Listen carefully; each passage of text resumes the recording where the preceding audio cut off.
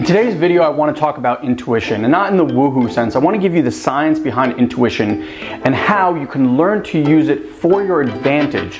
Whether you're looking to create more abundance in your life, whether you're looking to create more love, better health, etc.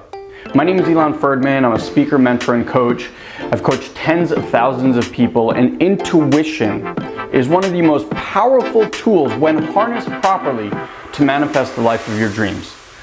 Now, the subconscious mind processes 20 million bits of information per second.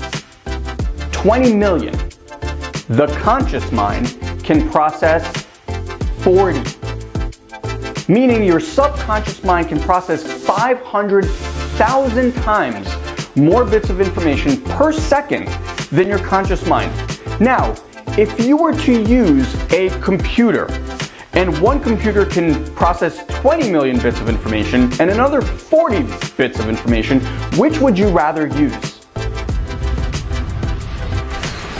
The irony is that most of us end up using the conscious mind, the logic part, the doer mind. What intuition simply is, is the connection between your subconscious mind and your conscious mind. It is that ability to allow the supercomputer that is in you right now to shine. In other words, that subconscious mind to lead and generate the results in your life. It's the difference between an iPhone 10 and the original iPhone. Which would you rather use?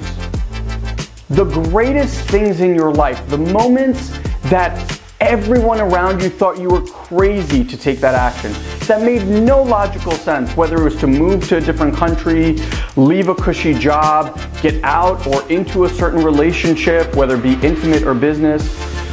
You know those things that just felt so true and so honest to you that you didn't need agreement from anybody else.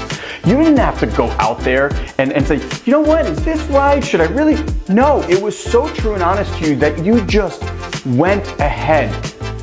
And while the journey, that process may have not been the easiest thing, you knew that no matter what, this was your destiny. This was your path. And that all happens when you allow your subconscious mind, as it processes all this information, to actually provide you with the answers.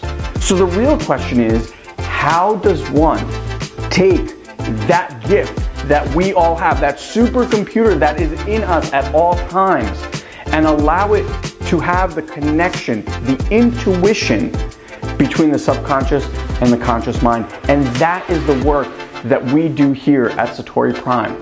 That is what we're training people on. So if you want to learn more, First, subscribe to this channel and let me know in the comment box if this resonated with you.